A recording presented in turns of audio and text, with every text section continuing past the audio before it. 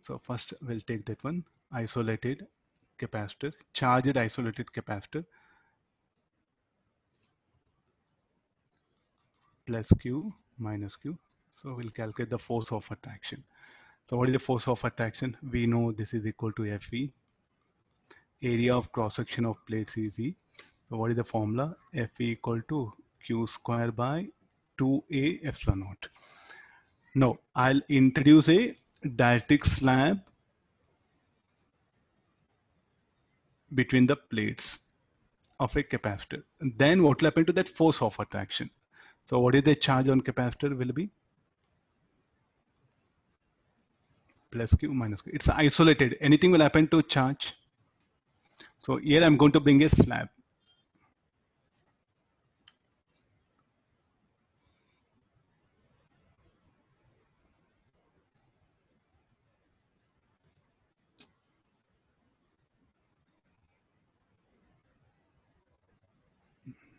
So this is the ceramic slab. What will happen to K? So what is the first diagram? First diagram is the, the, the initial diagram. Now first case, a dielectric slab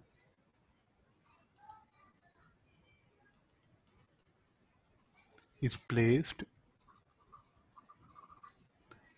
between the plates of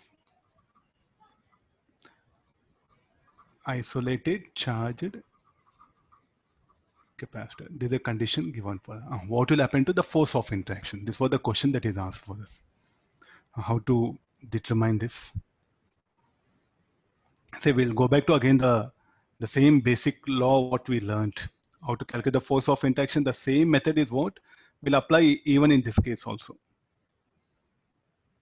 So how many surfaces will come? So here the induced charge will be there.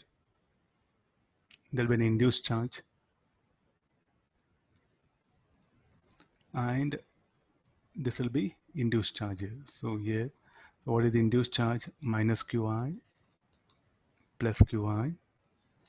And what was the charge on capacitor? Plus Q minus Q. Uh, anybody, can you say anything about charge on capacitor? Will it change or remain same as it is? Charge on a capacitor will it change? No, it's isolated charge capacitor. No, what parameter of capacitor will remain constant? What are the first things? I'll write it. The charge of Q remains constant. Hmm. What will happen to capacitance? Earlier, what was capacitance? Epsilon naught A by D. Now, what is the capacitance of this? C equal to K epsilon naught A by D. Capacitance will increase.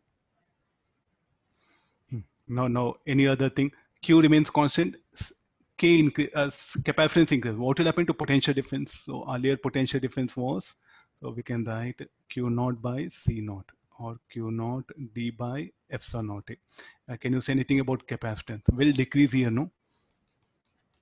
B equal to Q by C. The charge remains same. I'll write same Q naught.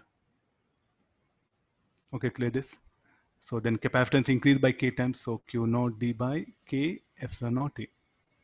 So what happened to potential? Potential decreases by K times. Got this? So these are very important for you. Uh, what is the force of interaction? We're interested in the force of interaction. So let me put the name one, two, surfaces, three, four. So the charge on the surface one will experience force due to what? Due to charge on the surface 3, surface 4 and surface 2. The charge on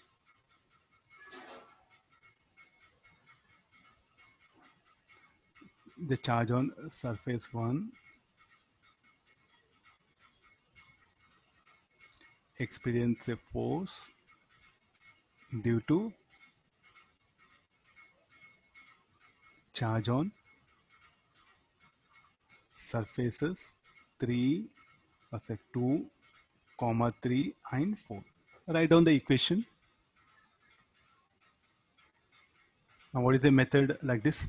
So the force experienced by the surface 1 so we we write like this. F1 is equal to.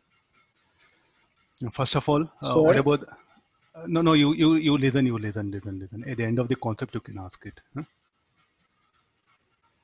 So what is the uh, field produced by this? E1 or E2 magnitude? Should be equal to sigma by epsilon naught, QA by epsilon naught. What is the field produced by the this particular thing, E3 and E4?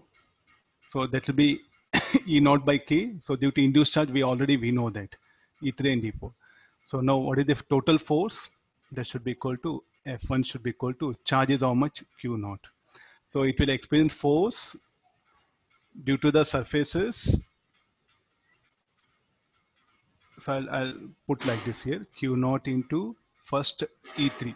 In what direction this particular field will be towards right? E i cap. Then this will be minus Q naught E4 i cap plus Q naught into E2 i cap. Shall I write directly? because how the field due to the E3 will be towards right. If you are getting confusion, you can show it like this. Like what we did in electrostatics, only if you are getting confusion.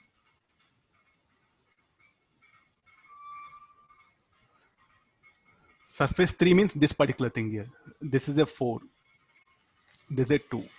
So directly you can say like this negative charge will produce field in the direction.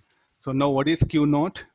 Q, Q is what charge that one. So that will be as it is. So now how E3 and E4 are?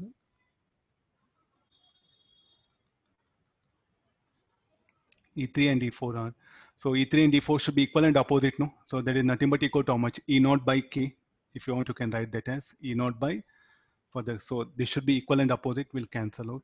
E3 bar plus E4 bar should be equal to zero. So what is only field is due to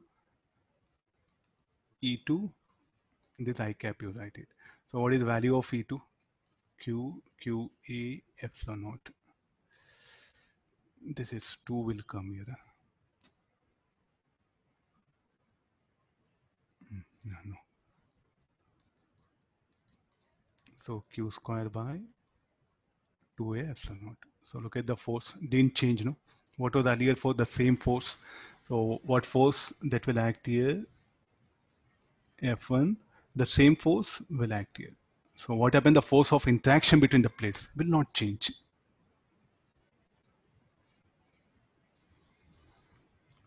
Got this one? So these are all theoretical conceptual questions are there. You should not remember. You are supposed to work out. You should take example. You take HC Verma, all the objective questions, they're asking so many things here. So what students, they're just remembering. You have to take example and you have to verify it. You have to take a situation and you have to verify it. Uh, yes, doubt, yeah.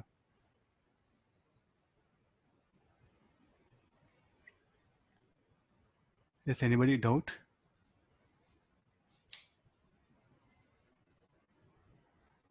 Completed, shall I continue?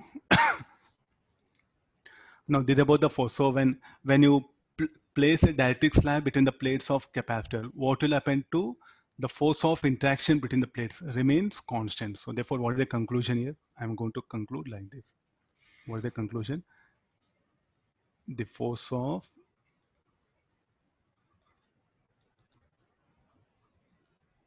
interaction between the plates remains constant on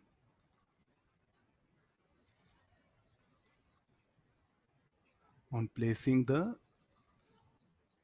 slab between